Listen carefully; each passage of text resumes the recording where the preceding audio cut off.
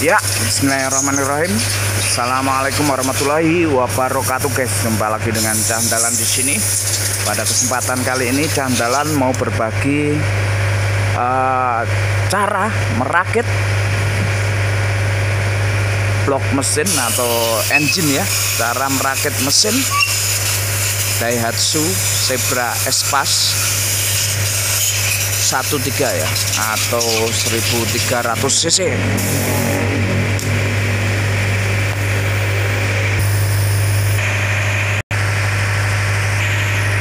ya kenapa ini turun mesin ya? Karena sudah ngobos guys. Uh, ring sekernya dan sekernya itu sudah oblak ya. Jadi dia ngobos ya boros oli. Oli mesin jadi kebakar habis ya.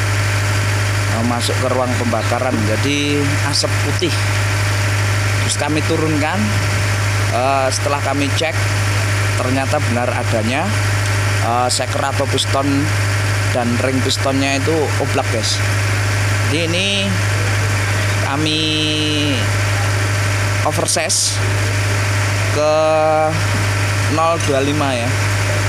Jadi dari standar standar oblak ke asap putih karena oblak itu ya. Terus kami kolterkan di bagian bureng atau buringnya. Kolterkan oversize 0,25 terus kita ganti shaker dan ring shakernya.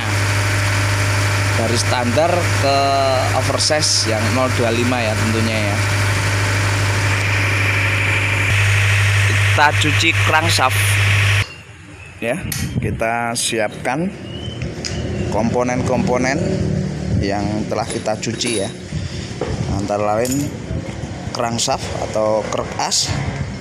Juga engine bearing ya. Engine main maupun engine root bearing kita semprot dengan udara ya. Kita semprot dengan kompresor angin kita siapkan engine bearing ya. Ini yang side atau metal samping. Metal samping pasangnya di tengah-tengah blok mesin ya. Tengah-tengah dudukan main bearingnya. Metal duduk engine main bearing. Lalu kita siapkan engine main bearingnya. Kita pasang sesuai urutan saat melepas kemarin.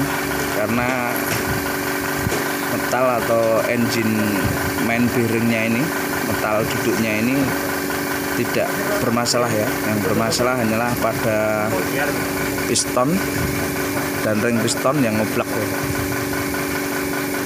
kita oversize kita kolterkan burungnya di oversize 0,25 dan uh, seker serta ring sekernya juga kita ganti oversize 0,25 ya semua engine main bearing atau metal duduknya. Telah terpasang pada dudukan bearing engine nya lalu kita kasih pelumas di masing-masing atau di setiap metal duduknya.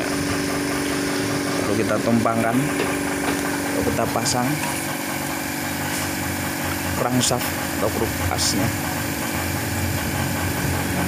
lalu kita kasih pelumas di setiap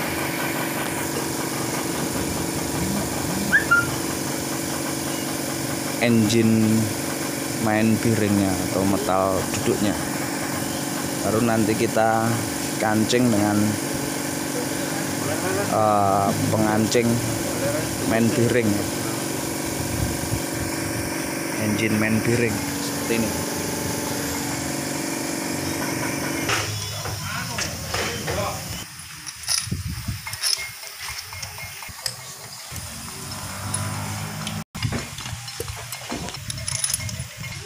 Ya crankshaft dan engine main bearingnya telah terpasang guys. Tinggal kita kencangkan ya seharusnya dengan kunci momen ya atau bisa dengan feeling